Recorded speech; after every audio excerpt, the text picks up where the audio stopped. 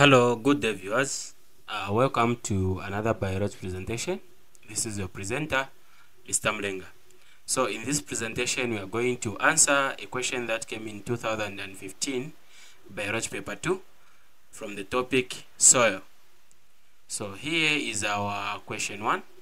So we have question A and B. Our question A reads, describe the importance of the factors that make soil fertile. So before we describe the importance of the factors that make the soil fertile, we need to understand what soil fertility is. So soil fertility simply means it's the ability of the soil to support plant growth by providing essential nutrients. So once these nutrients are being provided to, to a plant, they are going to allow a plant to be able to grow health. Okay? So let us see how we can answer this question.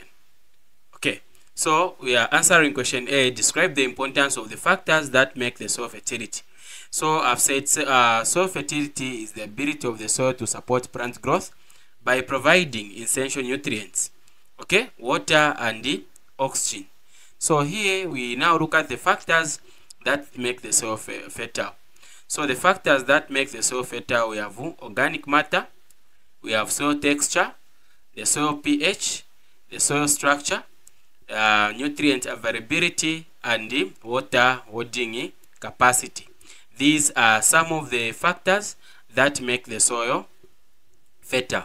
So, um, when you look at the organic matter, under organic matter, it's able to make the soil fertile in different ways. Number one, it makes the soil to be fertile through nutrient source, meaning that it provides nutrients to the soil. Also, it uh, also allows the soil to be fertile by providing soil a very good soil structure and also by ensuring that the soil is very healthy. That is just under the organic matter. So this organic matter, you'll be able to see that through the decomposition of plants and animals, they provide essential nutrients like nitrogen, phosphorus, and potassium. And this improves now the soil structure by enhancing water retention and aeration. Okay. Apart from that, we look at the soil texture. So under the soil texture, that's where we find that the we are going to have water retention, where we are going to have the proportion of sand, uh, silt, and clay particles that affect the water retention and the drainage. So when we have a balanced texture, it allows for adequate water holding capacity without water at logging, meaning that the soil has to be able to hold water so that we won't be losing what too much water. For example, when you look at some uh, loam soil, it's the one that is mostly ideal. Okay, so apart from that, you also look at nutrient availability. So the soil texture, it also influences the nutrient available and the leaching. Okay, so under the soil pH, you may find that this soil pH it will determine the availability of nutrients to plants. So that is the, the pH levels of 6 and what?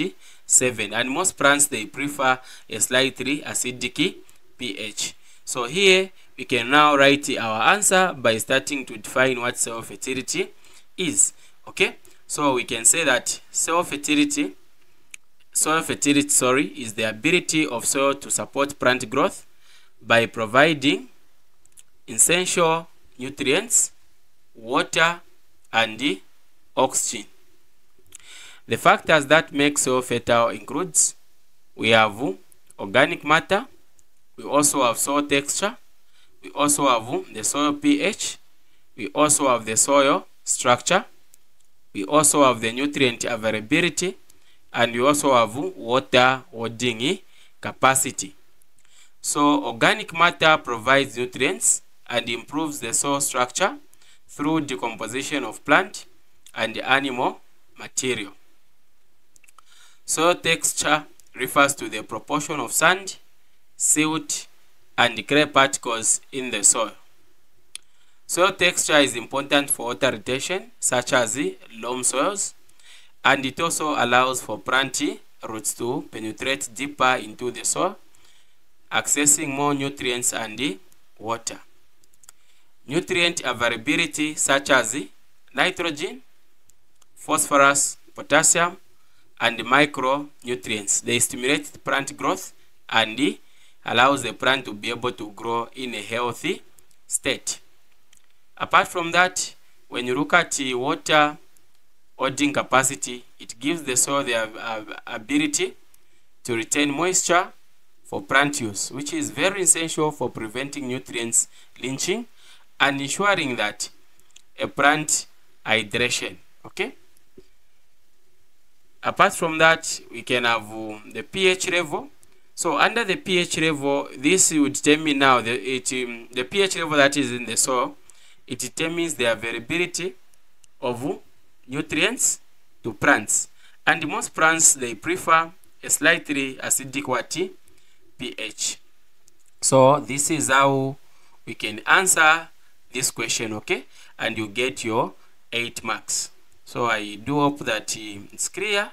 You have gotten something, okay? So make sure that you write your essay in such a, a manner. That's when you're going to accumulate all the 8 marks.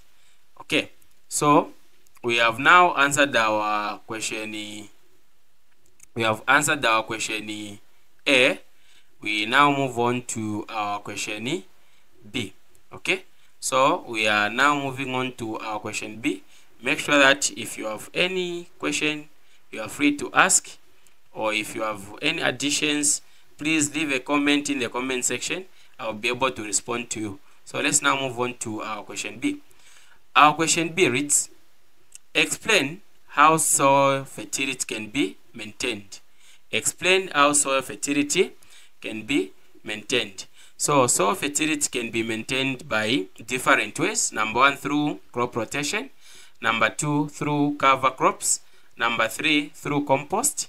Number four, by applying green manure crops. So when rotating the crops, this helps now to prevent nutrient depletion. It also reduces the pest and disease problems. The planting cover crops during off seasons can also improve soil structure and add organic matter and suppress the weeds composting organic waste meaning that when we apply uh, some uh, compost. Okay?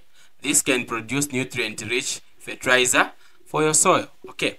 Apart from that when we apply green manure crops into the soil it can also add organic matter and nitrogen.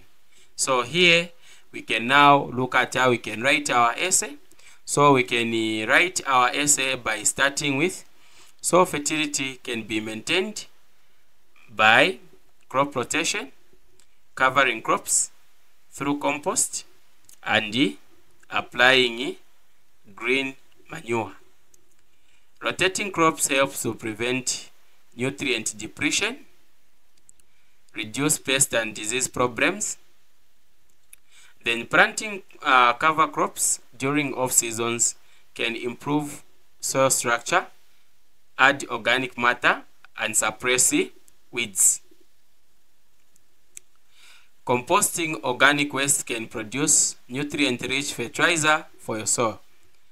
Applying green manure crops into the soil can add organic matter and nitrogen. So this is how we can answer our question B and you are going to score all the four marks that has been given okay so i hope it's clear you have gotten one or two things if you have any question feel free to leave a comment in the comment section or any additions i'll be able to respond to your comment.